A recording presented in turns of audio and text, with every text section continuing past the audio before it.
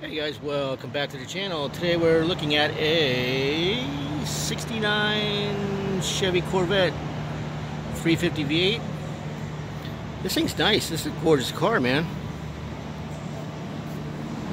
Looks like the uh, it looks like they recently did a paint job, some body work in this. This is nice. Nice little 69 here. I'm not seeing a lot of paint issues. I'm not a real big Corvette fan. I mean, they're nice and everything. I just, uh, the, the, if you mess up this fiberglass body and these things, it costs a lot of money to fix, man. Let me tell you. But it's a nice car. They were asking for it, uh, 40, 41,000. Nice wheels on it.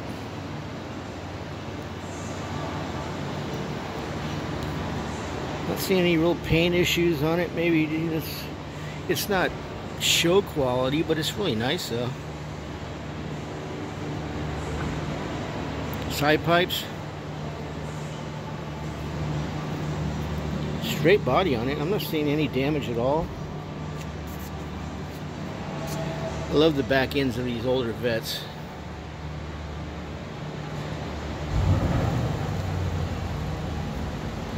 Overall, it's a really, really decent looking car, man. It's a little bit too much for me, but price-wise.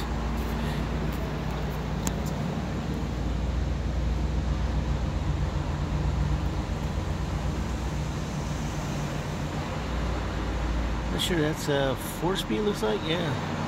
Got 350 in it. I wish they would open the hoods of the cars here, but I know it's a pain in the butt to do that. I'm not seeing any, oh, maybe a little,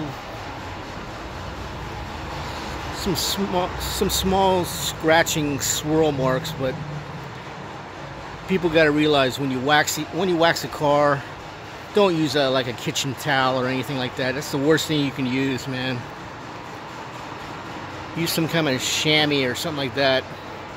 So you guys out there know, don't ever use towels to even dry your car. Use chamois. Save the paint from scratching and stuff like that. But uh, yeah, beautiful burgundy color. I love this.